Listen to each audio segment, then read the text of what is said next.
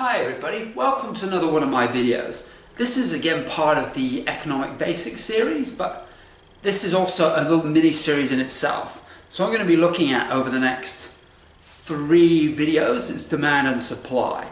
Why I broke them up into three videos? Because I'm looking at it from three different perspectives. Looking from a market as a whole, looking from the individual's perspective, mostly focusing on demand, and also looking at the various firms' perspectives. So all of this involves demand and supply, but it's from slightly different perspectives. And I think demand and supply is about time that I actually raised it in my economic basics series. I felt there's a number of other things I had to cover off first of all though. But anyway, we're going to get into demand and supply today. So in this first part, we're going to be looking at the market and the market as a whole. So I talk about that, we're looking at the market for a particular good. For example, bananas. And that's not an individual seller of bananas, but that's the whole market for bananas. So going to just take a look at that and the sort of demand that they'll be facing.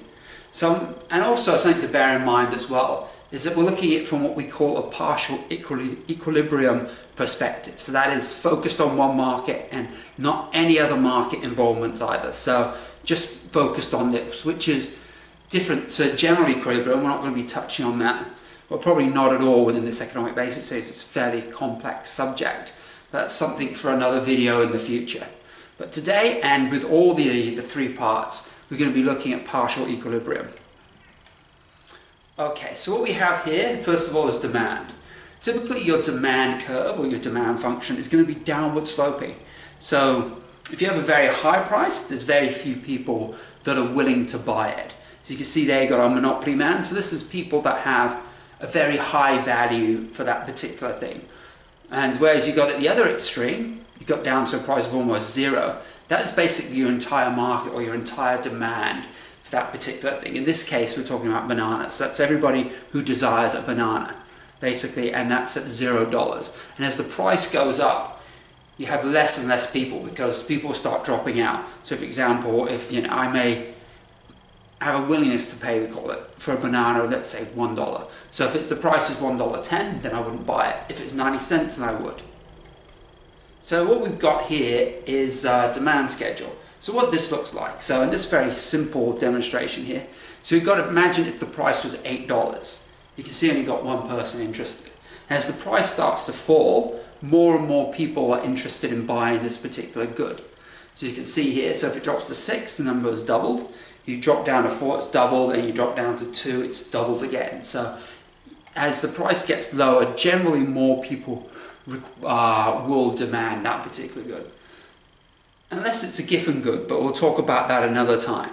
But in most cases, demand is downward sloping, and the cheaper, the lower the price, the more people are willing to buy. All right, how about supply? Supply is, tends to be the opposite to demand. It's an upward so, sloping slope, so it's, it's going upwards. And that's simply because the higher the price, the more sellers or the more a seller is willing to sell. So, for example, you look at it in terms of cost.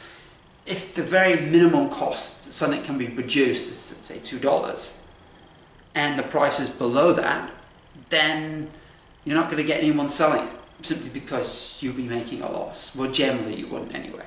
So that's the point here. So that's where you'd have your intersect with the uh, y-axis at a certain point above zero.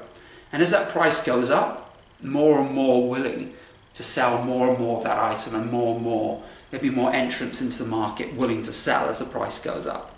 So as you get higher and higher, and also profits would tend to go up as well. Okay, so what, we have now is what we call equilibrium.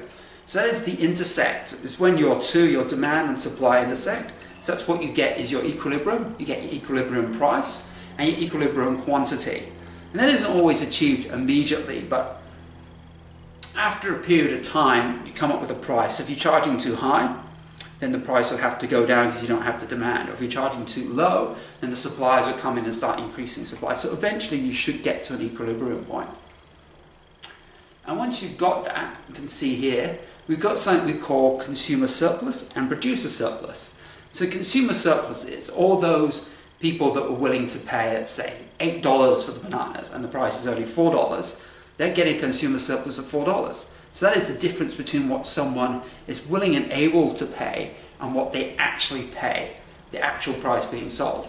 So as you can see, the consumer surplus is getting smaller and smaller as you get closer to the equilibrium. And then once it goes below that, people would stop buying. They wouldn't be interested in buying anymore because their willingness to pay is actually lower than the price. On the other hand, you've got producer surplus, and that is the area below the line. So you can see you've got producer surplus at the x-axis where and it's slowly getting smaller and smaller as you're getting to it. So if your cost is well below, so that's what you're willing to produce at, selling for. So if your cost is like two dollars and it's selling for four dollars, you'd be able to get that producer surplus of two dollars.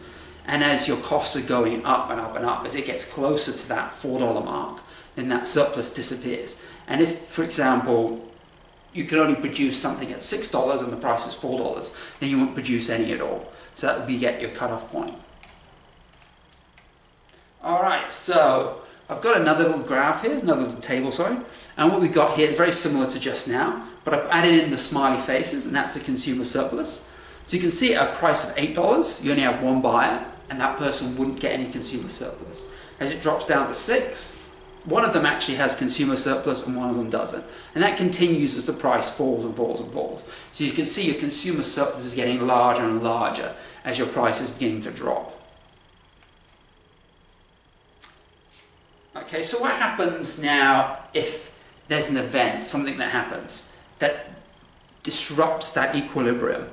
So remember, equilibrium imbalance, so your demand and supply equal each other, but something could happen, an event could happen that causes that to change. So what I've assumed here is that we've got population growth.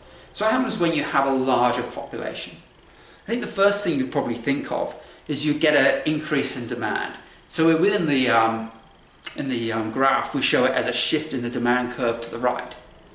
As you get more and more people, they require, so let's say every person, for example, demands two bananas. So if you double the population, then effectively you're doubling the demand. So an increase in demand would then push up your price. But saying that though, population may not necessarily, population increase may not necessarily result in an increase in price. What may actually happen is your price could actually go down because you've got to bear in mind there are more people, they're not just consuming, they're not just buying. There's also people that are out there that are actually joining the industry and actually producing more. So you would get an increase in supply as well.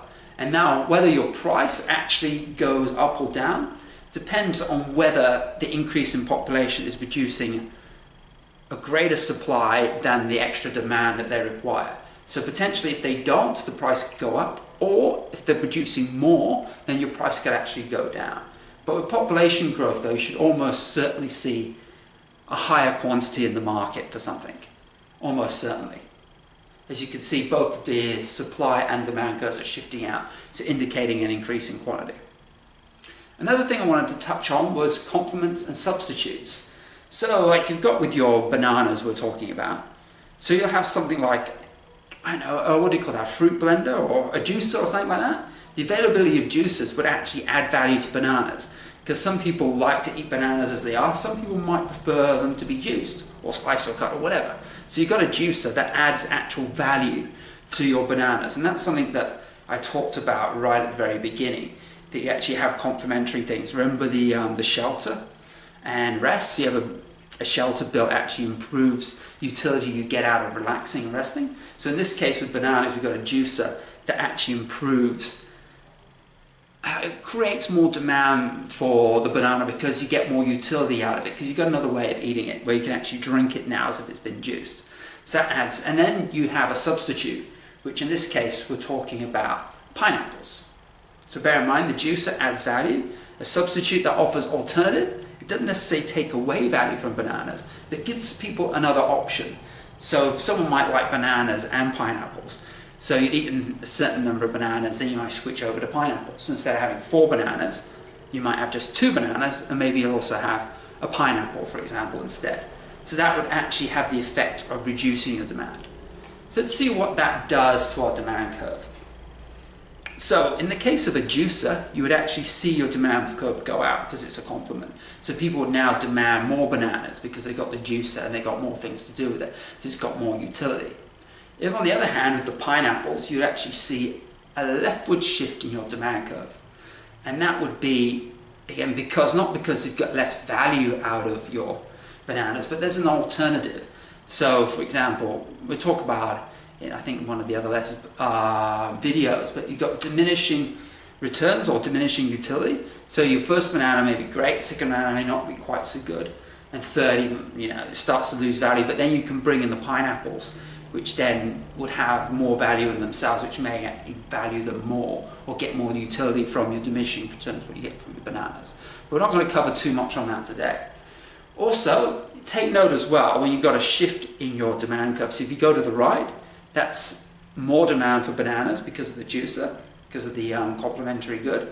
You see that your price actually goes up and your quantity goes up. They actually both go up because people are willing to pay more now for those bananas because they're getting more value out of it. And there could be people switching to bananas that are really into juice. So you've got a higher price and higher quantity. Whereas if you've got the pineapples, because it's competing with the bananas, so this people are going to demand pineapple uh, bananas because they can switch. So that means people are not going to be willing to pay as much money because they can go to that alternative, the pineapple. So you get a reduction in price and also you get a reduction in quantity as well. Okay, that just takes us to the end of the first part of my supply and demand series. So the next part I'm going to be looking at individuals. So this is going to link quite closely to what I talked about in one of my earlier videos in regards to um, utility. So yeah, so take note for that. That's going to be coming out fairly soon. And I hope you enjoyed this video. So I've reached the end of that. So if you would uh, like to see more videos like this, hit the um, subscribe button. And if you like this video, just hit the like button. And this series will continue.